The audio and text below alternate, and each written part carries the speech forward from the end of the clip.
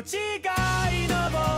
らが夢を追いかけるのは目を出した好奇心のためが空を目指すから色とれ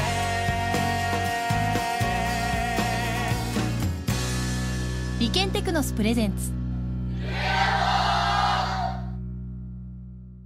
今日は筑波大学教育学類4年生の中井沢拓也さんにお越しいただきましたよろしくお願いしますよろしくお願いします。中井沢さんは今どんな活動をされているんでしょうか？はい、一般社団法人ひととという団体で、えー日本語教師の支援をする活動をしております。一般社団法人ひととは外国人に日本語を教える日本語教師の支援を目的に教師のスキルアップのためのワークショップやセミナーの開催などを行っています私自身、まあ、今も日本語教師をやっているんですけれども、えー昨年まであのスロベニアというイタリアの東側にある、えーとヨーロッパの国があるんですけれども、そこで日本語教師をしておりまして、結構一人で授業の準備をして一人で授業をやってで一人で振り返りしてという結構孤独に感じやすい職業なんですね。で私自身もそういう状況にいて気軽に相談できる人がなかなかいなかったりとかしたんですけれども、えっと、その時にちょうど、えー隣の国のハンガリーで、えっと、日本語教師向けの学会があったんですね。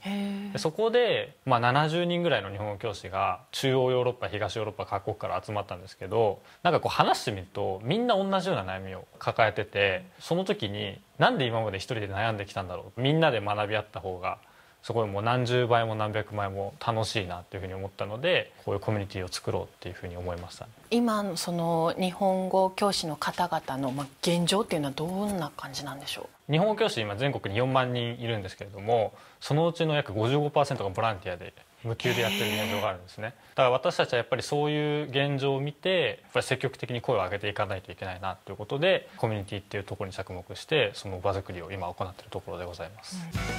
う夢は社会経済文化的背景の際にかかわらず誰もが挑戦できる日本社会を作ること。